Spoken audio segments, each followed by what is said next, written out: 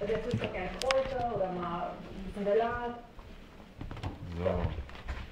Also natürlich jetzt auch wichtig, dass wir ähm, jetzt auch mal mit dieser Umstellung anfangen, dass er selber fressen muss und wir es ihm nicht immer in, ins Mäulchen schieben, damit er das auch lernt. So, jetzt stehen wir am heiligsten überhaupt der Tagesschau und allen anderen Sendungen am Stehpult. Äh, warum können wir hier stehen und obwohl es alles on air geht bei 1 Extra, sind wir hier ganz allein? Weil wir zwei Studios haben. Dieses hier ist das Studio für die, für die Sendung im ersten Programm. Äh, wir haben hier den Platz für die Tagesthemen, das ist der Platz für die Tagesschau-Ausgaben. Ähm, und wir, wir senden hier immer zur vollen Stunde. Und wir haben 50 Meter weiter das zweite Studio, das immer besaftet ist. Äh, dort wird gerade eins extra gesendet. Aha, äh, das erklärt das natürlich, dass wir jetzt hier so einfach stören dürfen. Wann ist die nächste Ausgabe? Ähm, 17 Uhr? Um 17 Uhr, 19 Minuten, genau.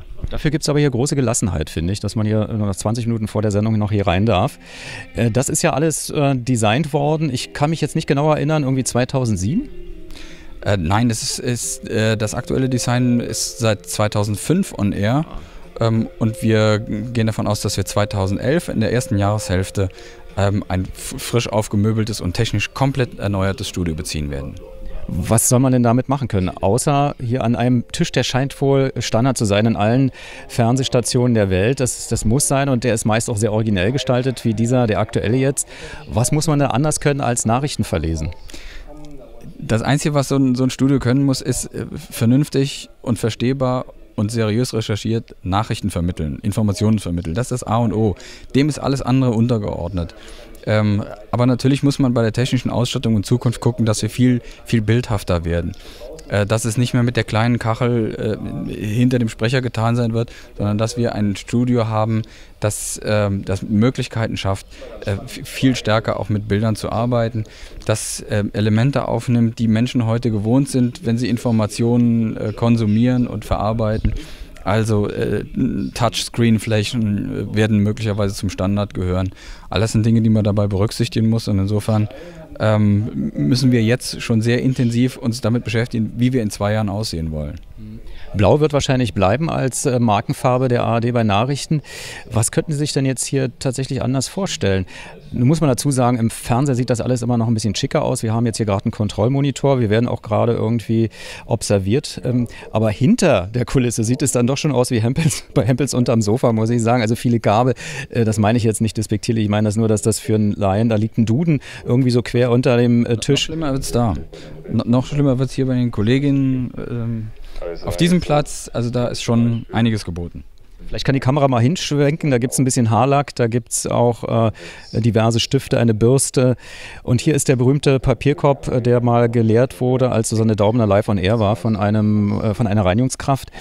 Äh, das ist aber normal. Das sieht so wahrscheinlich auf, äh, in allen Studios der Welt so aus. Ich glaube schon. Äh, Das Entscheidende ist, dass wir nach außen hin ein vernünftiges Bild abgeben.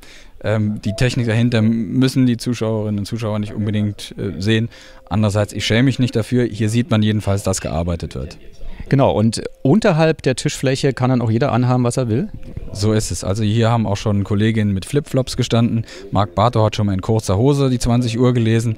Das Problem besteht dann, der, wenn, wir, wenn wir die Tagesthemen machen, dann ist dieser Platz auch von der, von der totalen aus einzusehen. Dann müssen die Menschen auch schon komplett am ganzen Körper vernünftig bekleidet sein, weil sonst würde es etwas albern wirken. Und hier ist auch der Uli Wickert-Hocker. Äh, Anne Will hat ja mal, so wurde zumindest kolportiert, die Sitzgelegenheit abgeschafft, aber für Uli Wickert, der langjährige verdienstvolle Mitarbeiter, durfte sich dann wenigstens mal kurz setzen. Naja, also das war ja keine Tagesthemenentscheidung, sondern äh, unsere wichtigsten Sendungen sind ja zweifellos die 20 Uhr und da ging es auch um die Sprecherinnen und Sprecher. Ähm, das Problem besteht darin, dass wir keinen Hubboden haben ähm, und einfach die Menschen unterschiedlich groß sind. Und gerade Uli Wickert, aber eben heute auch Klaus-Erich Bötzke sind sehr große Menschen. Ähm, und wenn die an diesem Stehtisch stehen, äh, war, guckt einfach zu viel Oberkörper raus. Deshalb gab es diese kleinen Stehhilfen, wo sie sich mit dem Gesäß ein ganz klein bisschen nach hinten anlehnen können und dadurch ein bisschen kleiner werden. Genauso wie wir für kleiner gewachsene Menschen auch äh, durchaus ein Brett mal hier unterschieben, ähm, um einfach diese, diese großen Unterschiede auszugleichen. Auch da wird man im neuen Studio einfach eine, eine etwas äh, modernere Technik finden, dass man so einen kleinen Hubboden hat, der das ausgleicht. Aber stehen bleibt sicherlich. Das haben irgendwelche äh, Wissenschaftler herausgefunden. Man hat eine ganz andere Präsenz. Das ist ja beim Radio auch schon ziemlich lange so. Aber ich sehe hier, der Teleprompter ist immer noch aktiv. Äh, oder was heißt, er ist da, obwohl die Tagesschau um 20 Uhr immer noch vom Blatt gelesen wird, also von einem Papierblatt auf dem Tisch liegend. Wird das abgeschafft werden? Nein, das Blatt bleibt, aber schon seit vielen Monaten läuft auch in der 20 Uhr der Prompter mit. Äh, man merkt es daran, wenn wir sehr alltagssprachliche Formulierungen in der 20 Uhr haben.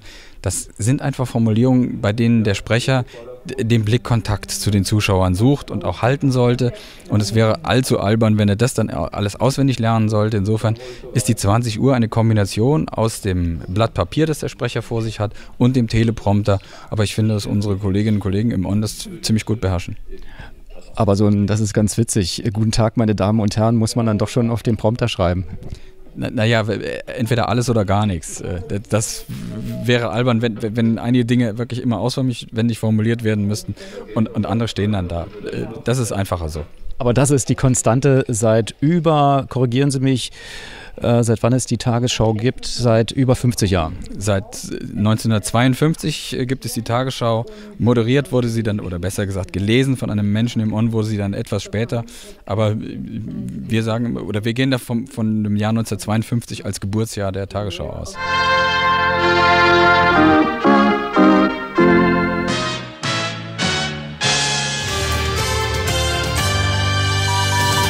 Guten Abend, meine Damen und Herren.